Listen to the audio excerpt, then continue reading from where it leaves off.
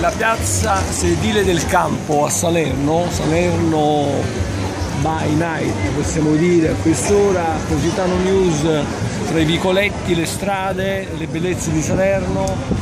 con tanta gente, ospiti, stiamo facendo un'esplorazione sulle bellezze di una città